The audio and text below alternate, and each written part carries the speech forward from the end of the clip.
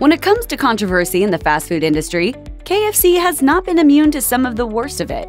So let's take a fresh look back at some of the biggest scandals to ever hit the fried chicken chain. There are plenty of urban legends involving fast food, and KFC found itself targeted with a particularly weird one when bogus rumors resurfaced in 2014 that the chain had been genetically modifying chickens to create bigger, meatier birds. That evolved into fake claims that the company's rebranding from Kentucky Fried Chicken to KFC was legally required because the mutant creatures they were frying up were technically not chickens. Although Snopes easily debunked the rumors, they became so prevalent in China that KFC's parent company Yum Brands sued three Chinese tech firms for allowing doctored photos of these monstrous but entirely imaginary creatures to proliferate on its social media platforms. Yum Brands won the suit but was awarded only a small fraction of the damages sought. Nevertheless, a KFC spokesperson said that the company was pleased with the outcome. Oh my god, my sister told me about KFC breeding these mutant chickens. They wouldn't stay alive there, would they? Like, oh, is it even possible to get mutant chickens? In 2014, Yum Brands was rocked by a news story that originated in China. A TV journalist went undercover in a factory owned by Shanghai Husi Food Co., which supplied meat to Yum owned fast food restaurants throughout China and captured footage of employees mixing old, expired meat with fresh meat.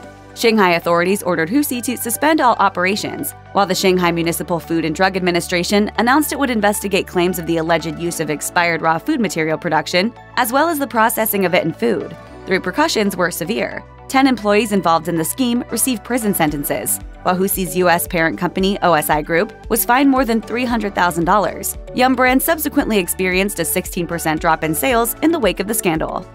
In 2015, CNN reported that a customer at a Los Angeles KFC received a serious shock when he opened up his box of food and dug into his order. What he saw inside was terrifying. It was a piece of chicken that appeared to have a small rodent like body and long, thin tail. Upon closer inspection, the diner then made a stunning allegation. He had been served a Kentucky fried rat.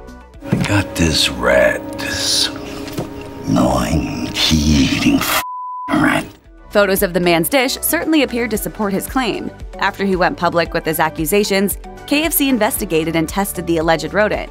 When the results were in, KFC issued a statement to ABC describing the results that read Recently, a customer questioned the quality of a KFC product, and this received considerable publicity given the sensational nature of his claim. The customer's attorney turned over the product in question for testing at an independent lab, and the results officially confirmed what KFC knew all along. The product was chicken and not a rat, as he claimed.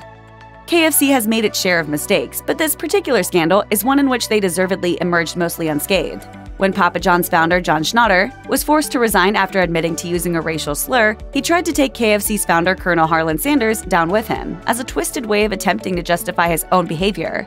During a conference call, he complained that Sanders called black people the N word without ever facing the public backlash that Schnatter was enduring. However, the family of the late Sanders, who founded Kentucky Fried Chicken in 1952 and died in 1980, denied that the fast food trailblazer ever used racist language. In an interview with the Louisville Courier Journal, Sanders' grandson, Trig Adams, blasted Schnatter's assertion as, quote, an absolute lie. Furthermore, he described the ousted Papa John's founder as a weasel. According to Adams, Schnatter's accusation was simply a case of projecting his own bad behavior onto someone else. As he put it, because he's prejudiced, he's trying to say somebody else was too. Sanders had absolutely no prejudice against anybody. In August 2019, a woman named Rosie Lancaster picked up some chicken from a KFC in Annandale, Australia, and was horrified when she began eating and realized it was a tad undercooked. To be more precise, it was completely raw inside. She took to Facebook and shared photos of the vile looking pink meat that had been hidden beneath KFC's signature crispy coating. She wrote in the caption, Purchased on Friday from KFC Annandale, rang immediately after. The girl on the phone seemed interested and asked me to email photos through, and they would call back. No callback yet, and no response. Lancaster's Facebook post went viral as it racked up thousands of comments, which prompted KFC to finally issue an apology in which they said, We're very sorry to hear about this as it doesn't meet our very high standards of food safety. And we have been in touch with the customer to offer a full refund.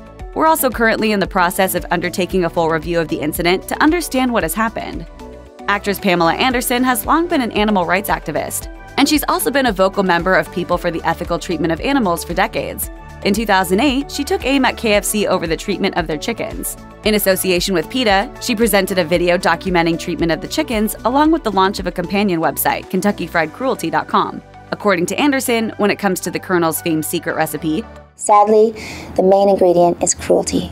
In the video, Anderson showcased footage of chickens enduring horrific conditions that was allegedly shot at a slaughterhouse that supplied chickens to KFC.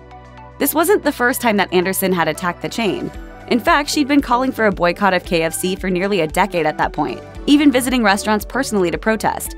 When news of the video's production broke, KFC tried to head things off by telling the Associated Press, We have an independent panel of outside experts who set our high standards. They are the same standards that all our competitors use to ensure humane treatment around the country. Anderson's protest may not have stopped KFC in its tracks, but it likely convinced a few customers to think twice before ordering one of their buckets. In 2014, a seven year old boy in Newcastle, England, was enjoying the KFC chicken that his stepmother, Crystal Henderson, had picked up for him when he bit into a piece that was as hard as a rock. Upon inspection, Henderson discovered that the chicken wasn't chicken at all. It was, in fact, a piece of blue paper towel that had apparently been deep fried. As Henderson pointed out to the Express, the blue roll could have been used for anything. It could have bleach or disinfectant on it. To give that to a child, I felt so guilty even though it wasn't my fault. For a child to bite into that is horrendous. To make matters worse, when Henderson returned to the restaurant to complain, she was told to phone the customer service line. Eventually, KFC issued an apology and a refund. A spokesperson told The Express, We're very sorry for Ms. Henderson's experience and apologized to her immediately, as well as giving her a refund at the time of the incident. We take food quality and hygiene very seriously, and unfortunately, on this extremely rare occasion, our restaurant failed to meet the high standards that both we and our customers expect. We have retrained staff on our stringent food preparation procedures at this store to ensure this doesn't happen again. KFC surmised that the blue tissue most likely originated from a tissue roll used for hygiene purposes, and then fell into the batter undetected. Most of the controversy that has surrounded KFC over the years has had to do with its chicken, but a 2017 hygiene scandal that erupted in the United Kingdom had nothing to do with poultry. A TV news report from that year investigating McDonald's, Burger King, and KFC tested samples of ice from 10 different branches of each of these restaurants. Five samples taken from KFC were found to have significant levels of fecal bacteria. The Department for Environment, Food and Rural Affairs, which is the government agency responsible for setting UK water standards, says that the acceptable level of fecal bacteria in drinking water is zero. A spokesperson for KFC told The Independent that the company was shocked and extremely disappointed by the test results and outlined the steps that were taken, explaining, We immediately shut down the ice machines in the restaurants affected to conduct a thorough clean and inspection, and reinforce the importance of adhering to our strict procedures to all employees.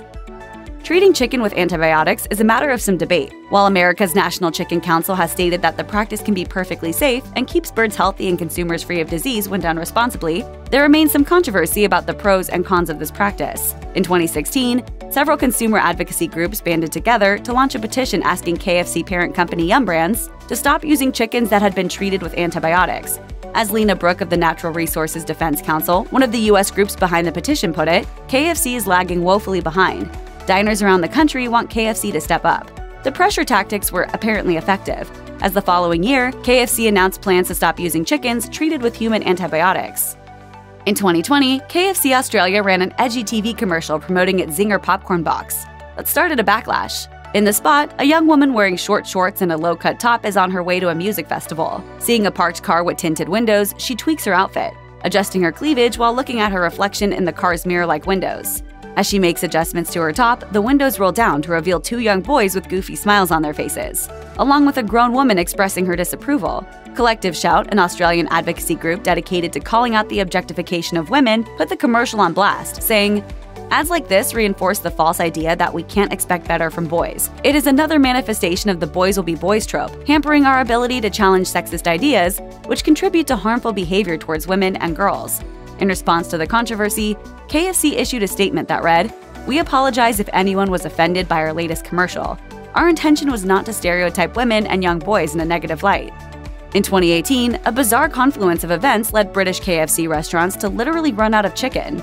It all began when the chain switched from its previous delivery company to DHL, when a large car crash involving seven vehicles and at least one fatality took place at a junction near DHL's main warehouse in the town of Rugby, police blocked off roads in order to investigate. The road closure left DHL's chicken loaded trucks stuck in traffic, and KFC restaurants without any chicken. My reaction is angry, sad, and disappointed.